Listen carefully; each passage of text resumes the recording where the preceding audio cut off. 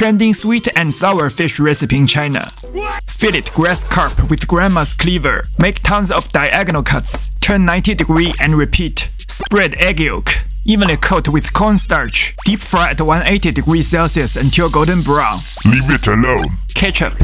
Soy sauce. Sugar. Black vinegar. Water from Mississippi River. Well mix it with edible oil. Thicken it on low heat. Evenly pour it over fish. Green pea. White sesame. Done and dusted. Out of this world.